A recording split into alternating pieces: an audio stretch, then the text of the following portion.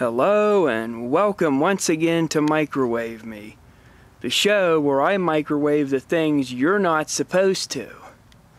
It's getting dark and Jareth is all fixed up and Quincy still needs cleaned up after the rubber duck episode. In case you're wondering how it ended because the video cut out, you basically saw everything.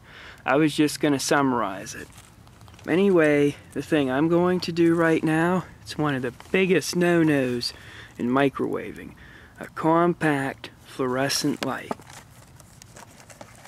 You are not supposed to microwave them, but I'm going to do it anyway. This is probably the most dangerous thing I've ever microwaved. Yes, this little light bulb. A compact fluorescent light people have been wanting to see microwaved. So somebody's got to be stupid enough to do it. And that somebody's going to be me. For this, I am definitely wearing the gas mask and any other kinds of mask that might need to be worn. Alright, how long should I microwave this? I'm thinking 10 seconds out of sheer fear.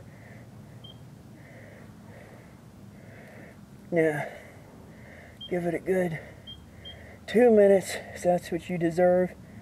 It's gonna air out a long time.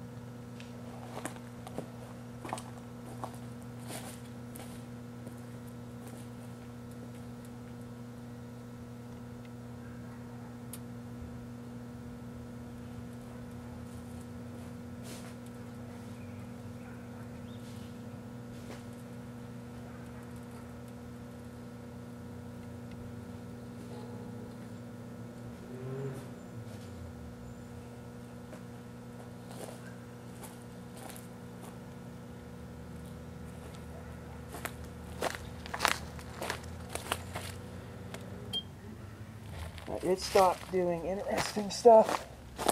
Baby's gonna air out a long time before I even touch that. Right now I can finally examine it. I'm kind of afraid to. That thing back there is by far the most toxic thing I have ever microwaved to this point. Never, I repeat, never microwave these kind of light bulbs. I waited 20 minutes. The fumes were still bad with a gas mask on. This is not worth a little bit of light show it gives. This is clearly a deadly idea. These fumes are literally deadly. Mercury poisoning, not fun. Never do this. Do not attempt this under any circumstances whatsoever.